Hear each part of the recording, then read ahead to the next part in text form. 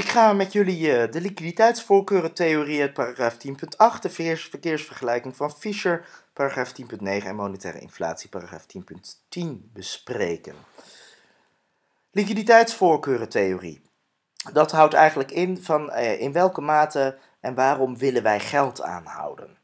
Nou, we hebben de geldhoeveelheid en de, uh, de geldhoeveelheid kunnen wij opdelen in de actieve kassen en in de inactieve kassen als wij geld in de actieve kas houden, dat uh, laat al zeggen van dan willen we er wat mee doen. We kunnen geld aanhouden omdat we transacties willen doen. Het zogenaamde transactiemotief.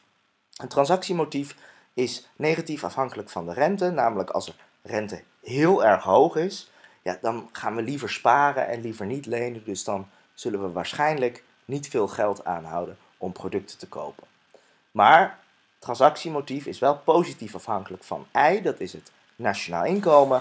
Want als het nationaal inkomen groeit, dan zullen we waarschijnlijk ook, dat komt natuurlijk ergens door, dus dan gaan we veel transacties aan. En met transacties aangaan bedoel ik spullen kopen, diensten afnemen. Naast in die actieve kassen kunnen we ook geld opzij zetten in de inactieve kassen. Oftewel, we doen er niet zoveel mee. En daar kunnen twee redenen voor zijn het voorzorgsmotief, dus niet het voorzorginmotief, en het speculatiemotief. En die zijn beide negatief afhankelijk van de rentestand. Voorzorgsmotief houdt in dat ik geld apart hou om bijvoorbeeld als mijn wasmachine kapot gaat een nieuwe wasmachine te kopen. In principe gaan we er in de economische theorie, in deze theorie gaan we ervan uit dat als je geld in de inactieve kas stopt, dat je er geen rente op krijgt. Dat is de theorie en daar gaan we vanuit. Het voorzorgsmotief houdt in als de rente heel erg hoog is, dan ga ik weinig geld apart houden voor het voorzorgsmotief. En dat, dan moet je goed in je achterhoofd houden. We houden ervan, gaan ervan uit dat in de inactieve kas zet ik geen geld.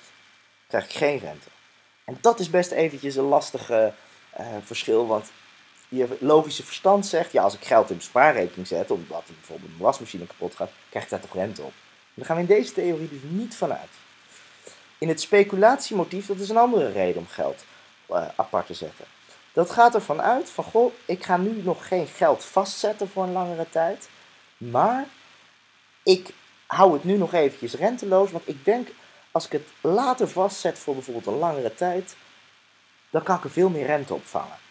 Dus voor dat speculatiemotief houden we geld op, apart op het moment dat er een lage rente is. Dan denk ik, nou, misschien dat het over een jaartje weer omhoog gaat. Dus dan ga ik mijn geld al voor langere tijd op een deposito vastzetten.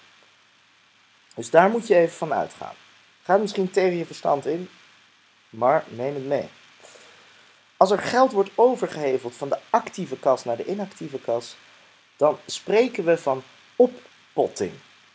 Oftewel, we zetten het even opzij.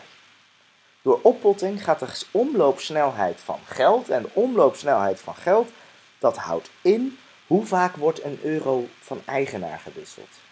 Je kan je voorstellen dat als de geldhoeveelheid heel laag is, maar uh, het geld verandert wel 100 keer van eigenaar per een bepaalde periode, dan is het op zich niet erg als er heel weinig geld is.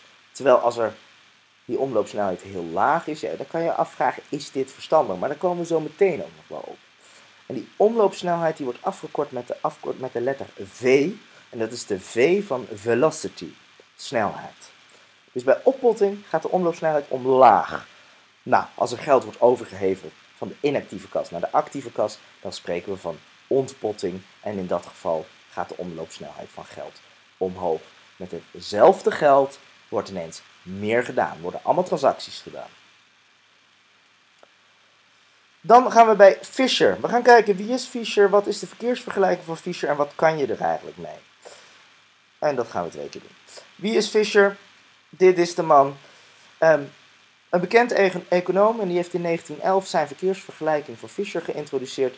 En met deze formule kunnen we macro-economische gebeurtenissen verklaren en ook kijken naar de gevolgen. En daarmee bedoel ik bijvoorbeeld, stel er wordt meer geld in de economie gepompt.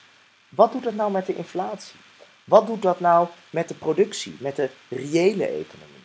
Want we kunnen wel heel veel geld in die economie stoppen, maar als er daardoor niet meer gekocht wordt, ja, dan gaan waarschijnlijk de prijzen omhoog. En dat is Fisher. De formule luidt M maal V is P maal T. De M staat voor die geldhoeveelheid. Die afkorting ken je. Die V is de omloopsnelheid, velocity. Die P staat voor het prijsniveau. En de T staat voor productie. En de T komt van transacties. Dus we zien hier dat die twee een relatie hebben. M maal V, dat heeft alles te maken met geld. Dus de geldstroom wordt ook wel de monetaire component genoemd. En die P maal T, dat gaat eigenlijk over goederen en natuurlijk ook diensten horen hier ook bij. Dus die twee die hebben een verhouding tot elkaar. En hoe gaan we laten zien aan de hand van een voorbeeld. Stel, de geldhoeveelheid is 1000. De omloopsnelheid is 4. Het prijsniveau, ik heb geen idee. En stel, er worden 10 transacties gedaan. Het is natuurlijk een heel erg simpel voorbeeld. En niet berust op enige werkelijkheid. Want op deze manier gaat het je ongetwijfeld lukken om dat te doen. Ik weet, 1000 keer 4 is 4000. Moet gelijk zijn aan vraagteken keer 10. Oftewel, hoeveel kosten dan die producten als we ervan uitgaan dat al die producten even duur zijn? Nou ja, dat zal dan 400 euro moeten zijn. Dus zo werken die dingen op elkaar in. Nu gaan we eens kijken van, goh, wat gaat er gebeuren als de uh, geldstroom toe gaat nemen terwijl er bestedingsevenwicht is. Dat houdt in dat iedereen mooi allemaal zijn producten kan kopen en dat er niet heel veel behoefte is aan meer transacties. Nou, in dit geval hebben we de geldhoeveelheid laten toenemen met 1000, dus laten verdubbelen. De omloopsnelheid hou ik constant. Het prijsniveau wil ik weten. De transactie blijft dus nog steeds 10. Dit is 8000, dat moet 8000 zijn. Dus het prijsniveau moet ook wel verdubbeld zijn. 800 euro.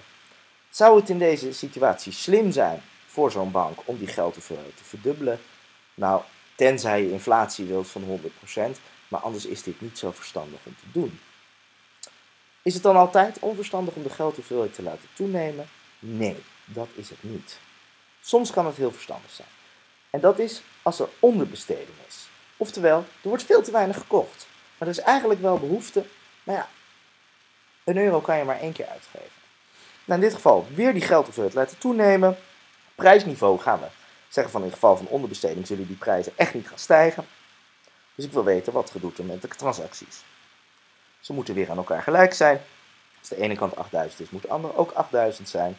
Nou, 400 keer vraagteken is 8000, oftewel die transacties zijn toegenomen van 10 naar 20. Die zijn verdubbeld. In dit geval kan het dus wel verstandig zijn om de geldhoeveelheid te vergroten, omdat, wat gebeurt er? De reële productie, het aantal transacties, die stijgt wel degelijk. Dus dat is iets positiefs. Dat is MLV P T. Monetaire inflatie. Nou, wat is monetaire inflatie? Monetaire inflatie is eigenlijk niets anders dan als MLV groter is dan P T en de transacties niet omhoog gaan, dan moet het prijsspel wel stijgen. Dat wordt bedoeld met de monetaire inflatie. Dus eigenlijk het eerste voorbeeld waarin ik de geldhoeveelheid liet stijgen. Dat is gewoon inflatie. Producten worden gigantisch duurder. Dat zag je bijvoorbeeld ook na de Tweede Wereldoorlog. Nou, monetaristen en economische stroming geloven dat geld een, nou eigenlijk al wel alles bepalende rol speelt in de economie. Dus dat we heel veel kunnen oplossen van als het niet goed gaat met de economie, door dan wel die geldhoeveelheid te vergroten, dan wel te verkrappen. Bij inflatie zeggen monetaristen, nou ja, zet die geldpers maar aan, maak het banken wat soepeler om geld in die economie te pompen. Zorg als overheid dat je heel veel geld uit, gaat uitgeven, dus dan stijgt die M. En bij deflatie wordt gezegd, nou ja, ga maar gigantisch belasting heffen, eh, vernietig geld op andere manieren. En op die manier kan je dat reële BBP, dus het aantal transacties, want dat is het eigenlijk anders, transacties. En het is eigenlijk hetzelfde als het reële BBP, namelijk BBP gecorrigeerd voor de inflatie die kan je dan op die manier beïnvloeden. Dat is die monetaristische stroom.